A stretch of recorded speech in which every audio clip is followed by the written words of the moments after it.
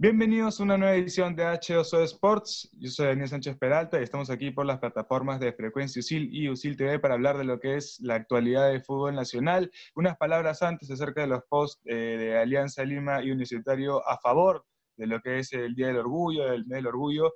Eh, eh, me parece genial de que utilicen la imagen de los clubes como motores de cambio social en busca de una sociedad más más igualitaria y más, más sostenible al fin y al cabo a través del tiempo, ¿no?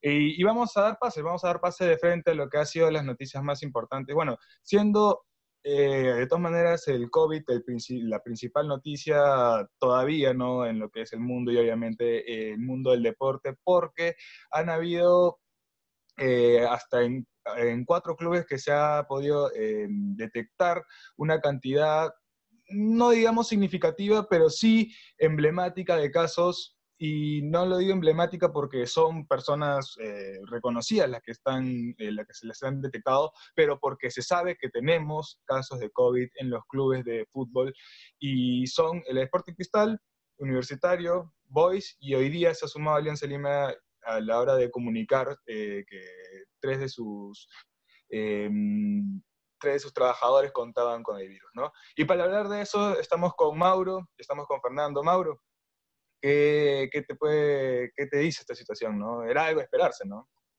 Eh, bueno, creo que era algo de esperarse, ¿no? Definitivamente creo que, que, era normal que se presenten, que se presenten este, casos positivos en los clubes y de hecho para eso fue que se, se preparó que las pruebas sean con un mes de, de anticipación al campeonato, que empieza recién eh, a finales de julio, entonces sí hay tiempo para trabajar, sí hay tiempo para, para que los clubes puedan eh, seguir los protocolos, ¿no? A los jugadores que hayan, o jugadores o, o equipo del staff que haya tenido el positivo y poder trabajar en una mejor recuperación y en un buen inicio. Y bueno, creo que estamos a tiempo. Eh, vamos a ver cómo los clubes lo, lo, este, lo trabajan y creo que esto es una cadena, ¿no? Si bien tú has dicho que solo se ha presentado en cuatro clubes, creo que van a ser más los que vamos a ir presentando en la semana, así que espero que se pueda trabajar de buena manera. Y con Fernando, yo, quiero hablar eh, también acerca de, del aspecto en el que son los clubes que están situados en, en Lima, los que han detectado eh, estos casos, los que han comunicado sus casos. No sabemos si la situación es igual en otros clubes de provincia, pero ¿Tú crees que es de esperarse? ¿Tú crees que hay casos y tal vez todavía no, no, los han comunicado? Eh, ¿Le conviene a los clubes de provincia comunicar sus casos o no? ¿Qué te parece, Fernando? Eh, definitivamente le, es prioridad y es totalmente una forma de mostrar respeto a los demás, de comunicar estos casos, porque es importante. En cuanto a los clubes locales como Alianza Cristal Hugo Boys, eh, me parece que es una cifra controlable, como bien lo dijiste, sostenible, pero esto se debe mucho también a las pruebas moleculares. O sea, eh, de alguna manera es eh, preocupante porque hay trabajadores que han resultado con COVID, a pesar que han sido asintomáticos, tanto de Alianza U Cristal y Boys, pero me parece que debe ser igual para todos los clubes, también de provincia. Eh, las pruebas moleculares, todos sabemos que es un costo, después de esta declaración jurada, luego de que los clubes hayan firmado, la federación tiene también que respaldar de alguna manera. Y en los próximos días se van a dar seguramente a conocer más casos de COVID-19. Yo creo que no solamente van a ser los únicos, creo que vamos a tener que esperar, pero lo que sigue creo que es el siguiente paso, cómo sostener a los trabajadores, cómo también hacer las pruebas con los jugadores más adelante, porque acá no va a quedar esto. Ese es mi punto de vista. Y también quería hablar de la posibilidad, yo creo que cada vez empieza a ser más grande, de que justamente mientras más se vayan detectando casos en los clubes o de las personas involucradas en el fútbol, porque no solamente estamos hablando de clubes, estamos hablando también de árbitros, em, comunicadores incluso, y bueno, hasta puede ser este personal de, salud también, ¿no? no necesariamente involucrada con clubes, sino eh, externos, ¿no? Eh, ¿Creen que es probable también de que esto retrase más lo que es el inicio de la liga que se había pautado ya a comienzos, a mitad de esta semana, si no me equivoco, en el 6 de agosto? ¿O creen de que, de que no, de que de todas maneras hay tiempo suficiente como para eh, eh, poder aislar a la gente eh, que se le ha detectado y de esa manera ya tranquilizar la situación y, y, ir para adelante? Yo creo que sí tenemos tiempo. la cuestión está en, en hacer valer el tiempo, ¿no? Eh, creo que, que, tenemos un mes en los cuales los clubes pueden prepararse de manera idónea, eh, van a tener que seguir haciendo los resultados, porque si bien han sido tres positivos ahorita, puede que se presenten otros la próxima semana, entonces es cuestión de, de, seguir con un, un procedimiento eh, y que, que, bueno, que llegue lo, lo, esperado, que sea que el campeonato se inicie con, con cero casos positivos en todos los equipos, ¿no? Porque basta con uno de un staff técnico de cualquier club para que llegue a contagiarse todos los jugadores. Entonces creo que sí tenemos tiempo, pero hay que seguir los protocolos, hay que seguir los procedimientos y hay que seguir con las pruebas, ¿no? Que, que los jugadores o las personas que estén infectadas respeten, respeten esto y, todo se pueda seguir bajo, bajo el protocolo, ¿no? Pero creo que sí estamos a tiempo. Y Fernando, te quería preguntar algo que lo habíamos hablado un poco la semana pasada, y creo que estas noticias últimamente eh, confirman un poco, pero quería aún así saber tu opinión, si crees que realmente Lima es la ciudad idónea para, para realizar todo este campeonato o si no hay una posibilidad de que se pueda eh, volver a, a, a, la idea planteada por el Avallejo, ¿no? que todavía también este, pedía o quería que se puedan jugar partidos local y de visita. Sí, yo creo que es idóneo para los equipos locales porque ya están acostumbrados a un rigor tanto futbolístico como la forma de vivir también y experimentar las cosas. Yo creo que le cuesta más a un equipo de provincia eh, aceptarse y todo un problema logístico también adaptarse, a diferencia de un equipo local. Ante la situación que está viviendo ahora Lima, yo creo que es mucho más complicado desarrollar un buen campeonato por tantos casos de COVID, no solamente de los clubes, sino también de las personas alrededor, o sea, más casos eh, en diferentes distritos, en diferentes partes de la capital, dificulta un poco más también el trabajo. Aparentemente los equipos están realizando las pruebas y reafirmo lo que dijo Mauro con que se tienen que seguir los protocolos necesarios para evitar que hayan contagios, de que hay tiempo y tiempo, pero yo creo que a más casos positivos, más se va a retrasar y más preocupación va a haber de por medio. Y antes de, darle pase a, los muchachos ahí en fútbol internacional, eh, quería eh, volver a hablar un poco del tema que llegamos a tocar la semana pasada en cuanto a, la, declaración jurada que se tenían que firmar los clubes. Eh, después de, algo, de algunas negociaciones, al final, el mismo miércoles, si no me equivoco, ya la mayoría, la mayoría de clubes está con cierto acuerdo en la Federación Peruana de Fútbol, ya no se hizo eh, más ruido, ¿no? De lo que se había venido este, haciendo. Y, justamente eh, quería preguntarles eh, lo que veníamos hablando, ¿no? O sea, solamente se llega a, a criticar a la federación y su actuar cuando se trata de dinero? ¿Hay, o, ustedes creen que los clubes también deberían tener eh, un, no sé, un componente moral a la hora de criticar o, un componente, no sé, de comunidad a la hora de criticar? Porque a mí me ha parecido al fin y al cabo de que cómo se solucionó esto terminó siendo y un problema más individual de cada club, ¿no? Porque incluso hasta cada uno de los clubes eh, pudo poner sus términos hasta cierto punto, ¿no? Pero quería saber su opinión, Mauro Fernando. Creo, Daniel, que sí, sí hay motivos. Este, o sea, creo que el motivo principal siempre va a ser lo económico, porque eh, lo recalco todos los, todos los programas, creo, el fútbol ya dejó de ser fútbol y se convirtió en negocio hace ya varios años. Entonces creo que, siempre va a estar impulsado por el tema económico, más aún el tema de los clubes, más aún en el contexto de, del COVID-19.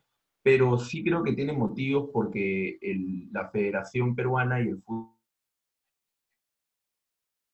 peruano, es difícil poder creer que una federación peruana eh, pueda trabajar de manera formal o de manera justa o de manera idónea eh, el tema manejos económicos hacia los clubes. Entonces creo que está impulsado por el tema económico, pero sí, sí hay un motivo detrás de por medio que es a raíz de la informalidad. Fernando.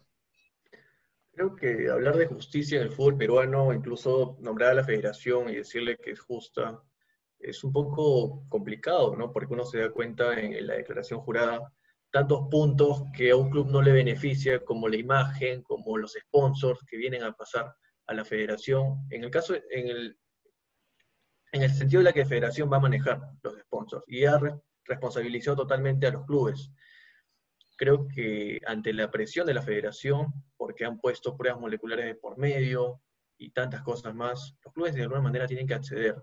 Los que han demorado han sido Alianza, eh, Cristal también, y es porque ellos están velando por su institución, no están velando exactamente por lo que pide la federación. Hay un protocolo que manejar y priorizarse un poco más el tema de salud ante todo, ¿no? Bien lo dijo Mauro, se ha vuelto un negocio totalmente el fútbol, todo es marketing, todo es dinero, publicidad, y no tenemos que obviar para nada este tema, sobre todo en un contexto desfavorable que estamos aconteciendo. Y ahora vamos con Franco, Felipe y Diego para que hablen de fútbol internacional, así que le damos el pase, muchachos. Gracias por el pase, Daniel. ¿Qué tal? Soy Franco Zulbeta y me acompaña en esta ocasión Diego Guerra y Felipe Aguado para conversar sobre el plano internacional, específicamente la máxima división de fútbol español, en la Liga de España porque Real Madrid y Barcelona se encuentran peleando eh, esta temporada por el campeonato. ¿Quién será el ganador de esta temporada? Y el Barcelona, dentro de breve, a las 3 de la tarde, para ser preciso, juega ante el Atlético de Madrid de Diego Simeone en el estadio Cap Nou. Así que, por favor, un saludo a Diego. Felipe, por favor, coméntenos, ¿qué información tienen sobre la liga? Bueno, ¿qué tal? Hola, Sí, bueno, eh, recordemos que el Real Madrid se encuentra en la punta en esta liga, le ha sacado dos puntos al Barcelona, quien si logra empatar o perder en este derby, se le complica el camino hacia el título. Y hay una noticia que está dando revuelo en todo el mundo que ya se ha confirmado que Artur Melo es de la Juventus. Hubo una especie de intercambio con el jugador Pjanic de este equipo y muchos han dado su opinión acerca de, este intercambio porque eh, Pjanic es un jugador que ya podríamos reconocer como un veterano, o sea, ya lleva tiempo jugando eh, tanto en la Juventus, antes estaba en la Roma, y es bueno, pero como venía Arthur jugando y de alguna forma estaba siendo suplente en el Barcelona, Arthur, pero es un jugador bueno, hizo una gran Copa América, está jugando muy bien, es un jugador clave en el medio campo, pero no entendemos por qué este, Barcelona ha decidido hacer este intercambio. Y ya hablando un poco con respecto a los partidos, eh, Barcelona juega con el Atlético de Madrid y después se enfrenta al Villarreal y al Español en los siguientes partidos. Así es, un español que fue derrotado por Real Madrid hace unos días y prácticamente eh, aseguró su participación en la segunda división de la siguiente temporada. Comentaba lo de Artur Melo, eh, yo opino eh, que la, directiva ha realizado esta operación, incluso sin consultarlo con el actual entrenador, por un tema de ajuste de cuentas. Recordemos que Barcelona lleva consigo una deuda muy grande, muy importante, y bueno, Arthur ha sido, digamos, ese jugador que, por así decirlo, fue sacrificado. Eh, comentaba también de que en conferencia de prensa, eh, su entrenador de Barcelona comentaba de que tenía la confianza en él, que iba a seguir apostando, que no le había llegado informaciones acerca de la directiva sobre este, esta salida. Y pues quiero consultarte, Diego Guerra, ¿cuál es la situación actual del entrenador de Barcelona? ¿Qué tal, Franco? ¿Qué tal, Felipe? ¿Cómo está? Bueno, sí, de acuerdo al diario AS, ¿no? Si es que hay una derrota un empate por parte del Barcelona, pues le costaría el puesto a Setién, ¿no? Y lo más seguro es que, lo, que ya tendrían pues un reemplazo como entrenador y sería García Pimienta. ¿Ya? Entonces, todo, todo depende de este partido, ¿no? Este clásico eh, moderno, por así decirlo, si es que hay un tropiezo el día martes, ¿no? Y hablando un poco más sobre el partido en sí, eh, tendríamos algunas sorpresas, ¿no? Lenglet regresaría al equipo titular. eh, ya que un Titi no ha tenido pues las mejores actuaciones en las últimas fechas y junto a él estaría pues Semedo, Piqué, Lenglet y Alba. Después en el centro del campo lo formarían los veteranos Busquets, Rakitic y Vidal y en la delantera estaría Messi Suárez, que son fijos. Y bueno, hay una incógnita que es el tercer elemento, ¿no? Entonces ese sería más o menos el 11 que estaría formando el, el día de hoy el Barcelona. Y bueno, esperemos pues que, que es lo que se va a desenvolver, ¿no? Em, bueno, si quisieran un poco más de estadísticas, ¿no? Em, se han visto la cara 236 veces ambos equipos, donde el Barcelona le ha ganado 28 veces más que los rojiblancos. Entonces ahí hay, y hay 54 empates, por parte de los equipos. Entonces el, el Barcelona le lleva una ventaja considerable, pero bueno, en este clase de partidos uno nunca sabe. Las estadísticas, como se dice, son lo de menos. Así es, tras la reanudación de la liga, ambos equipos no, no han caído, prácticamente están invictos. Sin embargo, va a ser un duelo muy interesante de analizar. Y quiero ir contigo, Felipe Boa, para que me comentes cuál es tu pronóstico para este partido. Hay algo que, que justo mencionaba Diego y es el tema de, o sea, el Atlético de Madrid de alguna forma eh, con las estadísticas está debajo de Barcelona, pero siempre, siempre es, un rival que le complica los partidos. Son resultados muy ajustados. Recordemos que el último partido que se enfrentaron fue por la Supercopa de España, que ganó justamente el Atlético de Madrid. El Cholo siempre sabe cómo plantearle el equipo a, esta marca que tiene con Messi, ¿no? Siempre lo, sabe bloquear y, y le da buenos resultados. Tiene una delantera muy buena con este jugador Marcos Llorente, que viene bien, de una forma no es titular, pero siempre, siempre que entra, hace un gran partido, tiene a Joao Félix, a Diego Costa, en un gran momento. Si bien no se le han dado los resultados, el hecho de ser un partido importante porque el Atlético quiere asegurar su, su cupo en Champions, este, yo creo que va a salir con todo. ¿no? Eh, el clásico este, contraataque, el clásico contraataque, el, el jugar bien parados atrás en el medio campo y, aprovechar esas salidas que tiene Barcelona muchas veces, este, que a veces comete errores, ¿no? Por, por este tema de la presión. Si el Cholo lo maneja bien, maneja bien la presión, yo creo que se puede llevar a un gran resultado, porque tiene jugadores y tiene mucho potencial. Así es. Comentaba también Diego sobre esa posible alineación. Eh, también quiero recalcar que en estos últimos partidos Quique tiene estaba apostando, digamos, por algunos jugadores en jóvenes, como es el caso de Ansu Fati, y el caso de Ricky Puch, quienes han tenido actuaciones muy, muy valoradas por la prensa y por, y por la afición catalana. Eh, bueno, Barcelona ha empatado en su último partido, llega con un empate de 2 a 2 ante Celta de Vigo, digamos que en esta recta final de la, temporada, esos equipos que están luchando el descenso, como es el caso de Celta, quien eh, sacó un importante punto, mantiene su distancia contra el Mallorca, quien es antepenúltimo, digamos que esos equipos siempre eh, se esfuerzan más, tienen una intensidad mayor y suelen complicar a los que están en posiciones elevadas en esta, como, como decía, en esta recta final de la temporada. Así que repasando la tabla de posiciones, Real Madrid tiene 71 puntos, Barcelona tiene 69 y el Atlético Madrid tiene 11 puntos menos que el Barça, tiene 58 y a 4 puntos nada más está el Sevilla con 54. Recordemos que el Barcelona, eh, si por ahora empatan en puntaje eh, al final de la temporada, Barcelona no puede salir campeón. Eso no tiene nada que ver con la diferencia de goles, porque en esta liga predomina eh, el resultado directo que han tenido estos dos equipos. Recordemos que en el Cup Nou empataron a cero y en el Santiago Bernabéu Real Madrid venció al Barcelona por eh, dos tantos a cero. Así que muchachos, quiero ir con ustedes, tal un poco prematuro esta pregunta, pero para ustedes, ¿quién es el favorito para llevarse la liga también teniendo en cuenta el feature que, les queda a ambos equipos? Felipe. Mira, yo creo que el Real Madrid por cómo viene, que creo que se va a llevar ese campeonato después de algún tiempo, ¿no? El, el partido de mañana creo que define muchas cosas y yo, yo creo que el partido de mañana este, el Atlético lo empata o lo gana.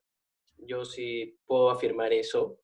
Entonces ya este partido define muchas cosas, el Real Madrid va a salir con todo, tiene mucho recambio, acordemos que este tema del coronavirus ha dado la posibilidad de que los equipos hagan hasta cinco cambios y eso le viene bien al Real Madrid.